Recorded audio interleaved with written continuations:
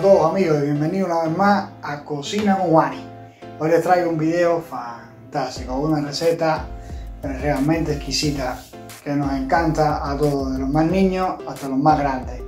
Vamos a hacer una pizza, pero no una pizza común, vamos a hacer una pizza en bandeja alta, como se come aquí en Italia en street food, se llama pizza al taglio. Esto es una pizza de un chef romano no solo chef, sino también pizzaiolo y un grandísimo maestro panadero que se llama Bonchi. Lo pueden googlear, se llama Gabriele Bonchi. Sin más hablar, sin más rodeo, vamos a hacer esta receta. Pero suscríbete mientras tanto, suscríbete, suscríbete y ven para acá. 400 mililitros de agua de tiempo, 3 gramos de levadura fresca de cerveza, 20 gramos de aceite de oliva, mezclamos bien, 500 gramos de harina, 10 de sal, Continuamos mezclando, añadimos nuestro líquido y con el mismo cucharón vamos a integrar todos los ingredientes, dejamos reposar por 20 minutos y vamos a pasar con las manos mojadas para que no se nos pegue la masa, a despegarla poco a poco y hacer lo que se llaman pliegues de fuerza, que como bien lo dice su nombre, le va a dar fuerza a nuestra masa.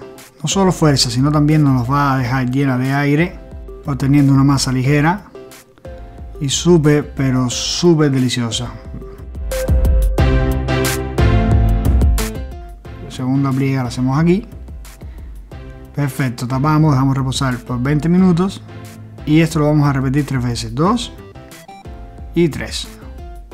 Perfecto, ahora en otro bol limpio ponemos un poco de aceite para que no se nos pegue y pasamos nuestra masa. La tapamos la dejamos madurar en el frío en la parte de la verdura por 24 horas. Pasadas 24 horas la sacamos por 30 minutos Primero de pasarle la bandeja, miren qué burbujas. Fantástico, perfecta. Polvoreamos un poco la mesa con harina de sémola o semolino como lo llamen. Ponemos nuestra masa delicadamente para que no pierda el aire. Importante trabajarla con mucha delicadeza. No se trabaja con rodillo, lo vas estirando así poco a poco con las manos manteniendo el aire dentro de nuestra masa para obtener una miga alveolada y súper ligera. Polvoreamos un poquito de semolino también sobra para quitarle la humedad. Miren qué belleza de masa. Fantástica, elástica, ligera, espectacular. Ahora vamos a pasarla a poner en una bandeja para horno con la ayuda de una mano nos la dejamos apoyar en la otra y la apoyamos delicadamente en la bandeja, siempre recordándonos de no quitarle el aire. Se nos pega un poquitico aquí, la despegamos, no, no es problema ninguno. Ahora con las manos las vamos acomodando poco a poco, como pueden ver aquí. Las pongo en el centro para que la puedan ver mejor terminamos el último retoquito, tapamos y dejamos reposar a temperatura ambiente por 2 o 3 horas. Perfecto. Ahora pasamos a hacer nuestra salsa de tomate. Yo tenía unos tomates pelados que los escaché un poco con la cuchara. Le puse un poco de orégano a gusto. Sal. Pimienta negra recién molida. Un chorrito generoso de aceite de oliva extra virgen Mezclamos todo. Lo probamos. Perfecto. Sacamos nuestra pizza y ponemos nuestra salsa de tomate con el horno precalentado a 250 grados. Lo apoyamos propio sobre la base del horno por 10 minutos.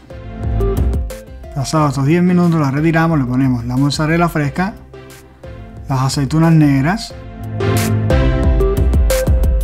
y pasamos una vez más al horno, pero esta vez lo vamos a poner en el centro del horno a 220 grados por 15 minutos. Pasados 15 minutos miramos si está lista, como pueden ver aquí, para mí está perfecta, sí, es que aquí era más doradita, lo deja más tiempo.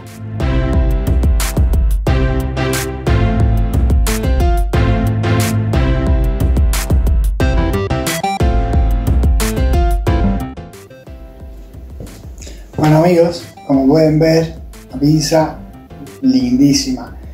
Miren qué miga que tiene, súper crujiente, y espectacular. Cualquier duda me lo pueden dejar en los comentarios. Mientras tanto, suscríbete, suscríbete y nos vemos en una próxima receta. Yo voy a comer.